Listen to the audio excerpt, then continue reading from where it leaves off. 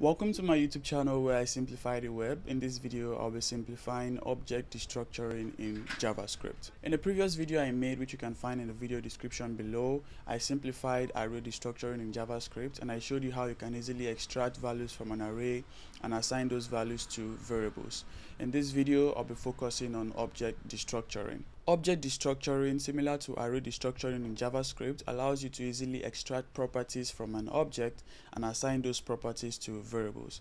I'm going to be showing you some examples here to explain the different things you can do with object destructuring. I have this object here which has a name property, a YouTube property, and a language property. Without using object destructuring, if I wanted to assign these properties to variables, I'm going to do it like this so I can have the name variable and I have object.name. If I want to do the same thing for YouTube, I have the YouTube variable and then I have object.youtube. You can see that I'm using two lines just to assign these properties to variables.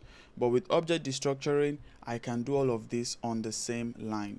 I'm going to show you how. I'll take this line away. For destructuring, I'll have my constant or let or var, whatever variable keyword you want to use. I have an empty object like this and then I have the object that I want to destructure here. First I have the name. Now I have the name variable assigned to the name property. I can also do the same thing for YouTube. This is the YouTube variable assigned to the YouTube property. I can destructure the language property also. Now the language variable is assigned to the language property. I'm going to show you that this works by logging these values or variables to the console. Console log name, YouTube and language gonna extend this a little. I'll run this with node test. You can see that the name is dillion which comes from here. The youtube variable is Deeecode which is here and javascript is the language which comes from here. You can see how destructuring makes it easy to extract properties from this object and assign them to variables what if we do not want to use the name variable for the name property?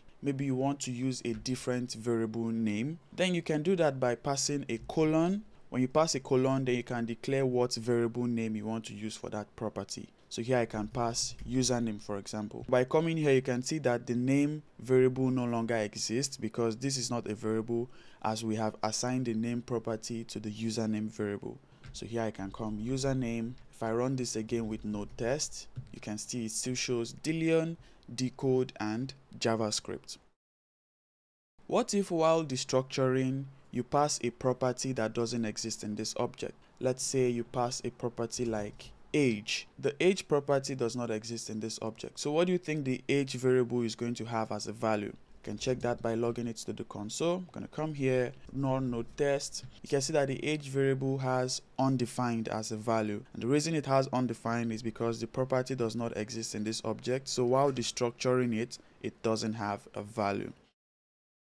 At the same time, while destructuring objects, you can pass default values to variables such that in cases where the properties does not exist in the object, it's going to take that default value. How do you pass a default value? You pass it with the equal sign. So for the language, I can pass a default value of CSS. For the age, I can pass a default value of 30. So while destructuring this object, I have the name property assigned to the username variable. I have the YouTube property assigned to the YouTube variable, the language property assigned to the language variable, and this has a default value of CSS. And I have the age property assigned to the age variable. I'm going to log this again with node so you can see how it works. The username is Dillion, which comes from the object. The YouTube is Deeecode, which comes from the object. The language has a default value of CSS, but because the language property exists in the object, it's going to have JavaScript. It doesn't use the default value CSS. But the age variable while destructuring does not have an age property, so it's going to be undefined. But because we pass a default value of 30, you can see that the age here is also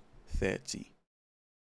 One more thing you can do with object destructuring is destructuring nested objects. What do I mean? I'm going to take this line off and I'm going to have a languages object which is going to have a first property of JavaScript. It's going to have a second property of CSS. Now this is a nested object in this main object you can also destructure that. How do you do it? I'm going to clear these lines off. Since I want to destructure this nested languages object, I'm going to have languages written like this put the colon, now I can destructure it.